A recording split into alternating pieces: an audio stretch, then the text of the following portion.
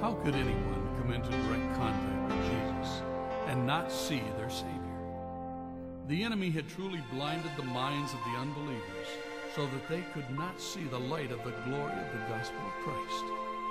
In the presence of signs and wonders that should have swayed the most caustic of skeptics, there were still those who walked away.